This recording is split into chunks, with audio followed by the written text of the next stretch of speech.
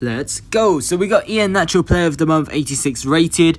Um, you're gonna you do need Iheanacho, so make sure you do have him. So you need at least three Nigerians, uh, at least a special card, four minimum leagues, and four minimum nations. So let's get straight into it. So what we're gonna do is go on to Nigeria here, and we're gonna choose Dennis, and then at left centre mid, we're gonna choose a CDM from La Liga. Now what we're gonna do actually is go on to the Premier League and choose uh, Leicester City. So when we do that, we're gonna choose Maddison, and then we're gonna choose these two here.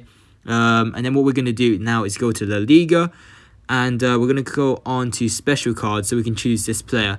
And uh, once, you do that, what you want to do is go on to uh, Spanish. Make sure you got it sort on uh, by duplicates and just do this.